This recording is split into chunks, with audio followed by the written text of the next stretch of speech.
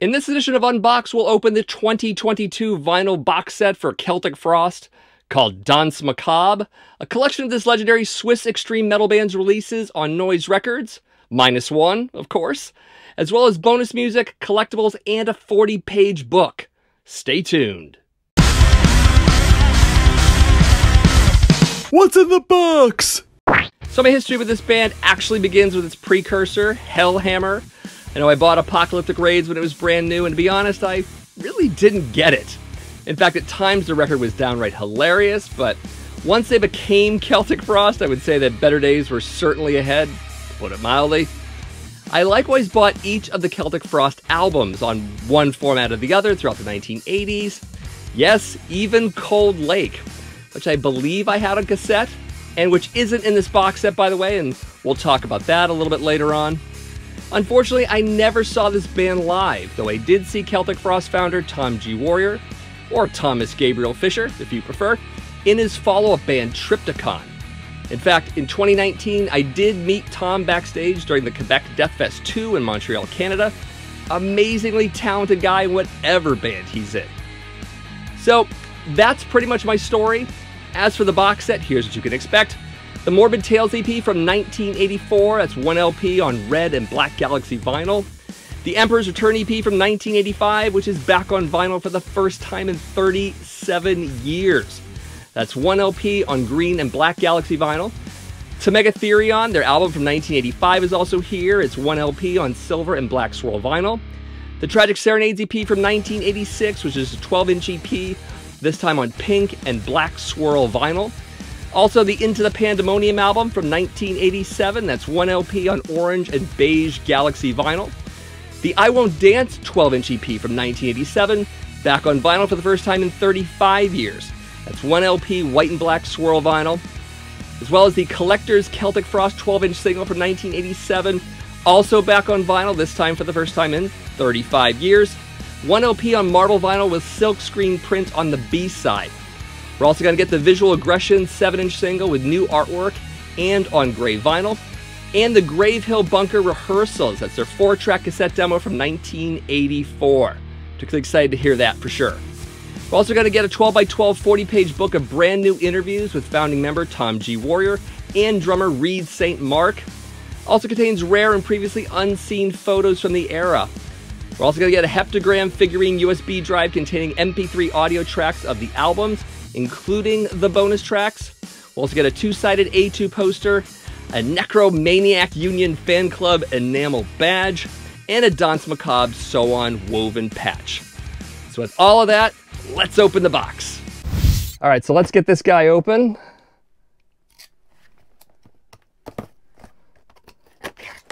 Be pretty easy. There we go. You don't need to see that. Box in a box, which is really great because Noise Records generally knows how to pack things. We had that with the Voivod box set as well. And I did buy both directly from Noise Records. So let's get this open here.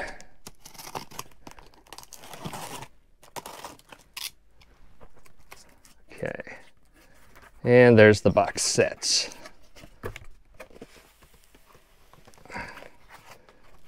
And more box away.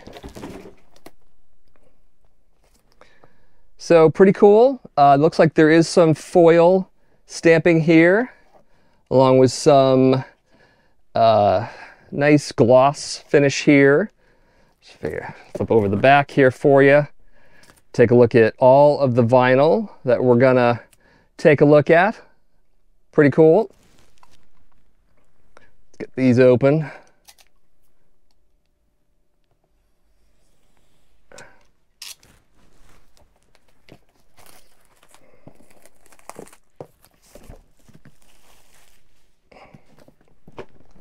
So one thing I wanted to do was go through the things in this box in a bit of a chronological order. I thought it'd be a little more interesting that way.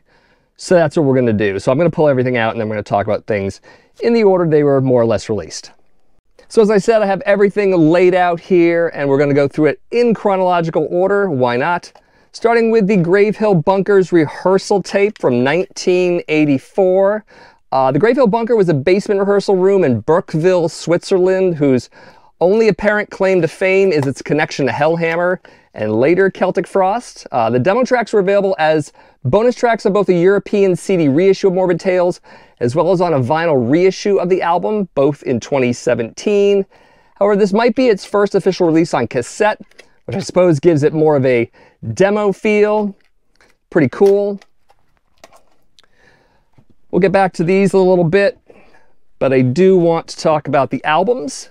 Starting with Morbid Tales, this is their debut EP from 1984. Uh, classic tracks here, such as Into the Crypt of Rays and Return to the Eve.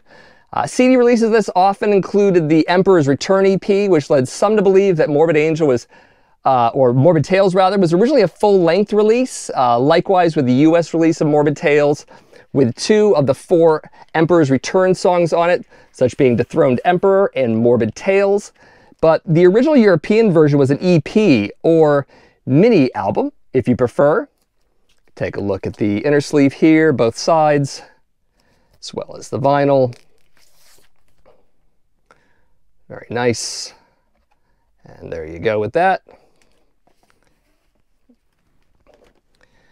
Next up is the Emperor's Return EP from 1985. Uh, this is the EP with Circle of the Tyrants, possibly one of the best Celtic songs ever. It's probably been covered by numerous bands over the decades, most notably Obituary, but also Opeth and Propane, believe it or not. Uh, we should talk about the artwork. Uh, it is by uh, Phil Lawvere, who also did covers for Kreator and Death Row, among others, in case this style looks a tad familiar. Um, initial pressings came with a black and white poster. Kind of want to see if we got that. Looks like we did not. That's all right. I'll take a quick look at all of this here. We got lyrics and of course some more credits and lyrics and stuff like that. Uh, it looks like Noise hadn't reissued this on vinyl since 1988 or even licensed it out to Metal Blade uh, since then, so it's really great to see it here. And this is a bit of a green and black. It's kind of hard to see in the light, but maybe you can see it, maybe you can't. But there you go. Uh, next up is the Visual Aggression 7-inch right here. Uh, the track is originally from the Emperor's Return EP, but I really don't remember this single at all back then. I can't really find a listing of it anywhere either, so maybe this is an exclusive, not really sure. You can let me know in the comments otherwise. There's the vinyl for you right there. And the B-side, of course. Not much more to say about it because, again, I don't really remember this back in the classic era. But again, it might have been available. Who knows? Of course, next is to Megatherion, the first full-length release for them, 1985. Um, in addition to the redo of Circle the Tyrants on here, which is my favorite of the two versions, we also get my very favorite Celtic Frost track, The Usurper. I also love Jewel Throne a great deal, and the rest of the album kills as well. Uh, cover art, uh, and this art here is by H.R. Giger. Uh, this piece is called Victory 3, uh, and the cover is Satan 1. It was painted in 1977. Uh, Giger and Fischer had a bit of a friendship, and Fischer actually became Giger's assistant starting in 2007. I should also mention that like Morbid Tales, Megatherion had a vinyl reissue as well in 2017 from Noise Records. So if you only wanted to get this album and not the entire box set, that's still an option. But of course, if you're a fan like me and you want to get this, uh, you want to get this, obviously. There's the, there you go. And the vinyl. It's this wonderful black and gray. And there's the other side for you. Pretty cool. After that, we have the Tragic Serenades 12-inch EP from 1986. Uh, this is definitely a favorite of mine. I have it on cassette. I've had it since the uh, early days. Uh, this is a three-song EP with tracks originally appearing elsewhere, but here either re-records or remixes. Again, I had this cassette when it was new, came to really love these versions, especially Return to the Eve. Uh, last release of this was on Picture Disc as a Record Store Day reissue in 2018, which I have and is framed on my wall, but that's a picture disc and I'd much rather hear this on actual vinyl. So super glad to have this. There's the inner sleeve for you and the vinyl. So black and gray. It has a little bit more of a blue tint than the other one does. There's also some pink hiding in here, which is kind of interesting. See that in the label as well. Very, very cool.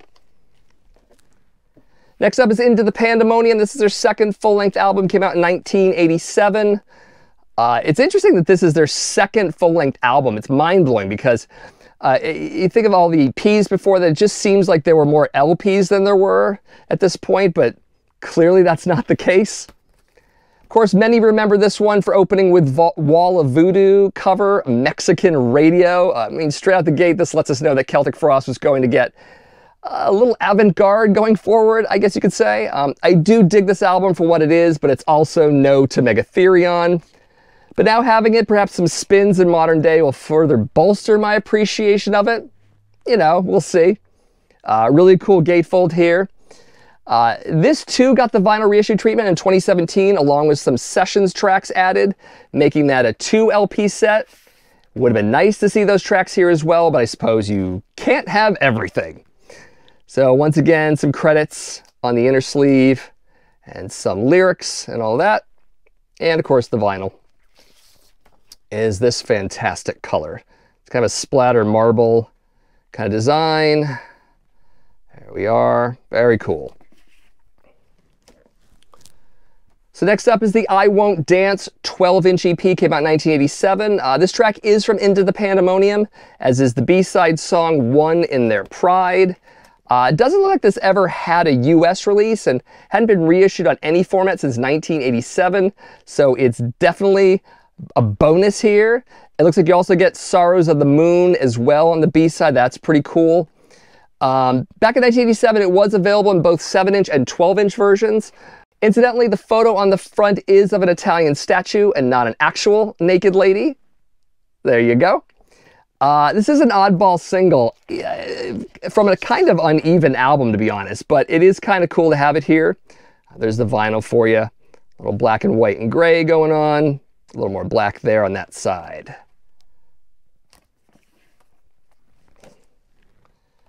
Next up is the Celtic Frost Collector's uh, disc, or the Collector's Celtic Frost. I guess we could put it in that order as well. 12-inch single from 1987.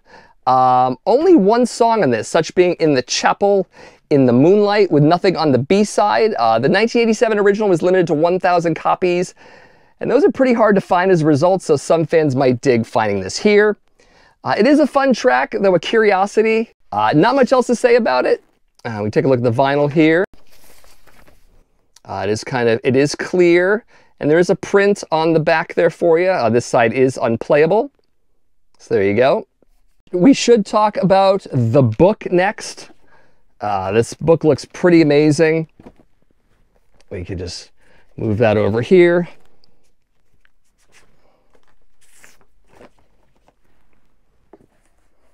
I need more table. There we go. So very cool. We'll just take a gander through this book here.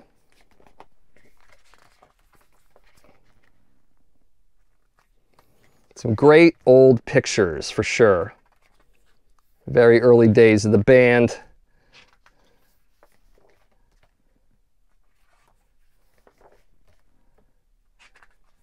Really looking forward to reading some of these uh, interviews and uh, some of these little snippets about the early days of this band, for sure.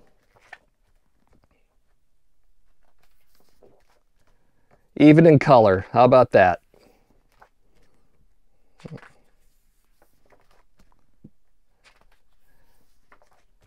Definitely, this is going to be quite the read.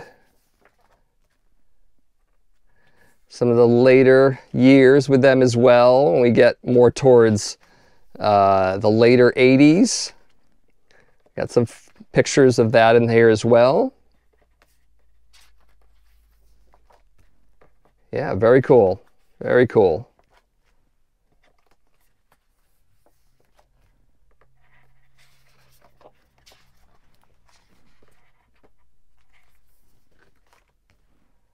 And there's the book for you with the skull right there as well. So let's talk about some of the other goodies that are in here. There are quite a few. as we move more and more stuff around. We do get a poster. It's like a fairly large poster. I don't know how much of it we're going to be able to get on camera. There's the one side there. And it is two-sided. So there it is sideways. We can also look at it that way. There you go. Of course, there are some goodies in here as well. Uh, we could talk about the, the pin itself. Pretty cool. It's got a standard pin on the back there for you.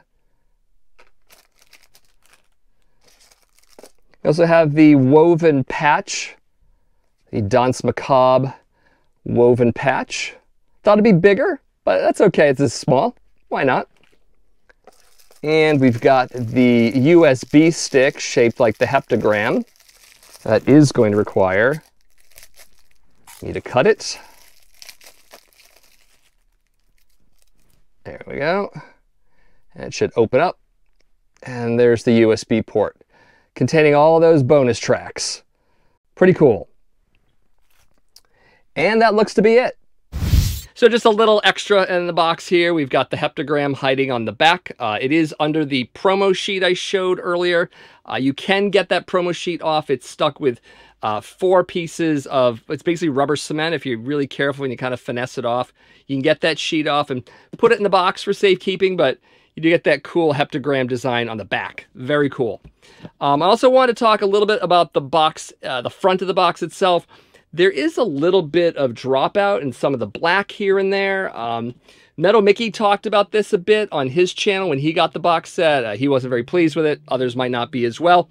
Um, I think it does give it a little bit of a worn look, though I don't think it's entirely intentional.